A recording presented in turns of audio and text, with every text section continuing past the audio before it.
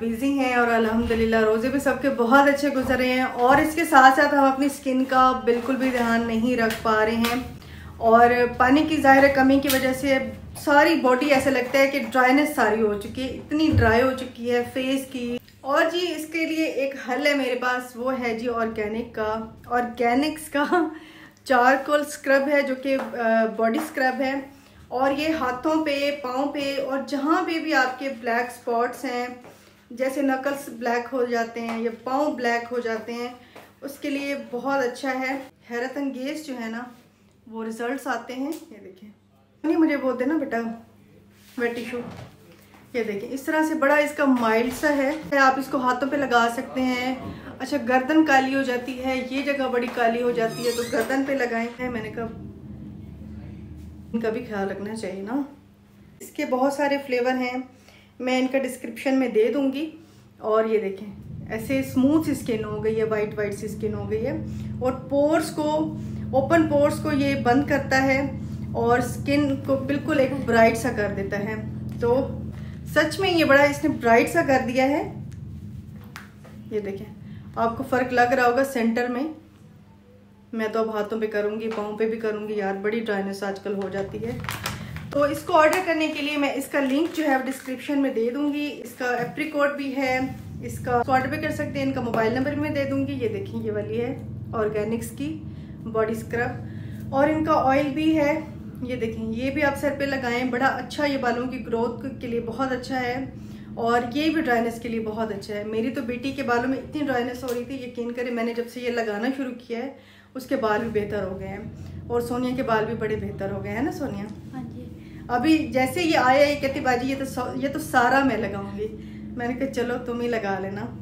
आप अक्सर पूछते रहते हैं ना, मैं स्किन के लिए क्या करती हूँ? तो मैं ऐसी चीज़ें करती रहती हूँ। अस्सलाम वालेकुम कैसे हैं आप सब? आई होप आप सब ठीक होंगे। और अब जी मैं कर हूँ अफ्तारी की तैयारी। और आप कहेंगे कि तीसरे रोज़े की सहरी कहाँ पे है? तो सहरी की मैं वीडियो बिल्कुल भी नहीं बना सकी। मेरी थोड़ी सी तबीयत ख़राब थी तो बस मैंने बिल्कुल भी नहीं उठा जा रहा था। सर में शदीद किस्म का पेन हो रहा था। तो मैंने सहरी की वीडियो नहीं बनाई, अब मैं अफ्तारी की वीडियो आपसे शेयर करने लगी हूँ।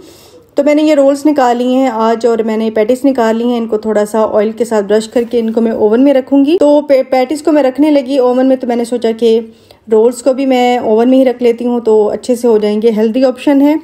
तो बस इसको मैं ओवन में रख लूँगी और ओवन की जगह भी देखिए मैंने चेंज कर ली है, क्योंकि जहाँ पे इंस्टेंट पॉट आपको नज़र आ रहा होगा, वहाँ पे पहले मैंने रखा हुआ था। तो मैंने जगह चेंज कर दी है। जैसे सेटिंग चेंज की थी तो सारा चेंज हो गया। यहाँ पे मैंने जो रोल्स बनाए थे उनको मैं सिपलॉक बैग में डाल के रख रही हूँ।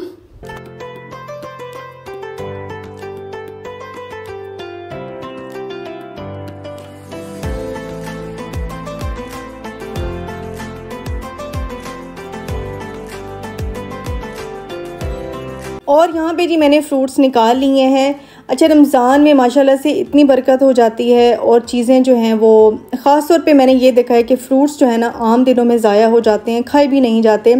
लेकिन ये कि अफ्तारी के टाइम जब रोज़ा खोल रहे होते हैं, उस वक्त फ़्रूट्स की बड़ी ज़रूरत होती है फ्रूट चाट बनाने के लिए, क्योंकि उसके बगैर तो रोज़े का कोई तस्वुर ही नहीं है हमारे घर में, बल्कि बहुत सारे घरों में फ्रूट चाट तो मस्ट है। और यहाँ पे जी मेरे हस्बैंड भी आ चुके थे, वो थोड़ी थोड़ी देर बाद आते रहते हैं, मैं किचन में खड़ी हूँ ना तो आते रहते हैं, क्या कर रही हो नादी? तो आ, मैं बहुत ज़्यादा कोई खुल के बताती नहीं हूँ कि हमारा रिश्ता कैसा है और क्या है। वो मेरी बहुत ज़्यादा केयर करते हैं मैं उनकी बहुत ज़्यादा केयर करती हूँ। तो अल्लाह का लाख लाख लाख लाख शुक्र है।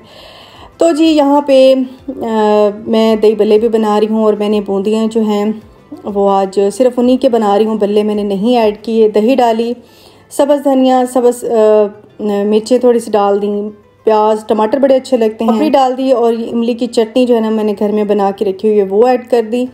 और मेरी बेटी भी बार बार आ रही थी कि मम्मा क्या बना रही हैं? यहाँ पे चाट मसाला डाल दिया। और मेरी बेटी के क्योंकि आजकल स्कूल भी खुले हुए हैं तो जब आती है तो बहुत ज़्यादा बहुत ज़्यादा थकी होती है। कोई हाल नहीं होता बेचारी का। तो आते ही सो जाती है नमाज़ पढ़ के। तो जी यहाँ मैंने दही बल्ले और मैंने बना लिए थे। फ्रूट चाट बना ली थी और अब मैं साथ साथ चीज़ें जो है ना वो समेट लूँगी और साथ साथ सफ़ाई भी मैं करती रहती हूँ, क्योंकि फिर बहुत ज़्यादा मैस हो जाता है और क्योंकि किचन बिल्कुल साथ है, बैठने की जगह भी साथ है तो बहुत ज़्यादा मैस हो जाता है।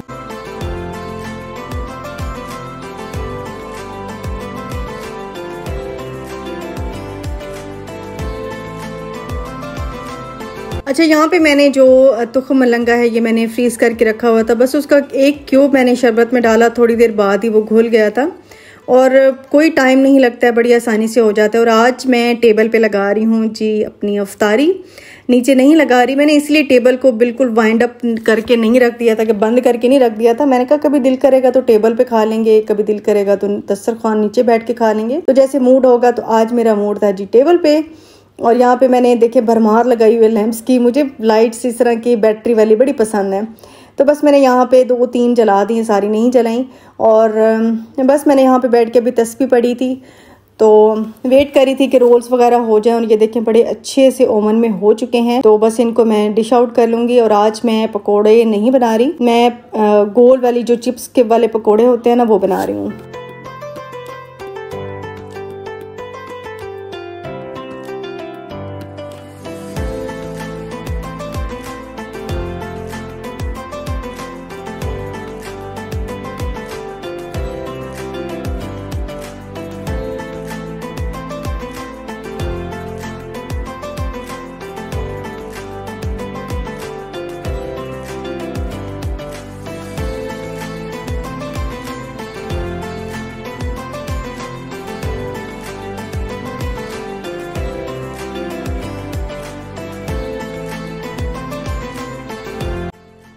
और यहाँ पे अल्हम्दुलिल्लाह जी, हमारी टेबल लग चुकी थी और पहले ऐसे लग रहा होता है कि पता नहीं कैसे चीज़ें बनाएँगे, थकान हो रही है, दिल नहीं कर रहा, लेकिन इतनी माशाल्लाह इससे बरकत पड़ जाती है, हर चीज़ ही इतनी ज़्यादा ज़्यादा हो जाती है माशाल्लाह और मेरे हस्बैंड और मेरी बेटी बैठ के दुआ करे थे, मैं उन बेटी को बता रही थी कि बेटा ये ये दुआएँ करो और अल्लाह से मांगो, कबूलियत की घड़ी होती है तो अल्लाह से अपने लिए कुछ मांगो घर वालों के लिए मम्मा बाबा की लंबी उम्र के लिए दुआएँ मांगो तो मैं उसको सिखा रही थी।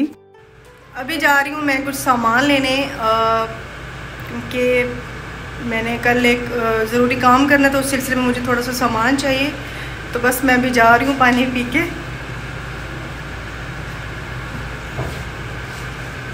ये बहुत ठंडा है सोनिया। हाँ गला ख़राब हो जाएगा। तो बस मैं चलती हूँ गाड़ी स्टार्ट कर ली है मेरे हस्बैंड ने। हाँ सोनिया।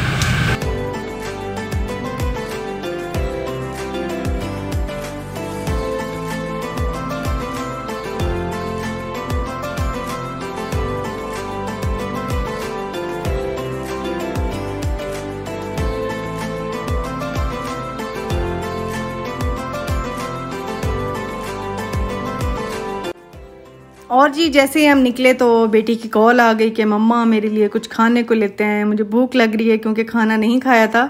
और खाना आज हमने खाया भी नहीं है। हमने यही सोचा कि सैरी में ही अब एक दफ़ा रोटी खा लेंगे। तो बस यहाँ पे हम लोग हार्डीज़ पे आए थे। अभी मैं आ गई हूँ सामान लेकर। अंडे, ब्रेड ख़त्म हो गए थे और बेसन लेकर आई हूँ, चीनी लेकर आई हूँ। बस अभी अभी लेकर आई हूँ। अंडे जो है ना हमारे घर में बहुत ज़्यादा इस्तेमाल होते हैं। वैसे भी डिफरेंट डिशेस बनाने में या वैसे भी खाने में भी बड़े अच्छे लगते हैं। तो बस अंडे में लेकर आई हूँ तो मैं अभी जो है ना थोड़ा सा रेस्ट करूँगी, फिर नमाज़ पढ़नी है। तो मैं आपसे चाहूँगी ये पे इजाज़त। तो मिलूँगी आपसे इंशाल्लाह नेक्स्ट वीडियो में। अल्लाह हाफिज़। जी बाय बाय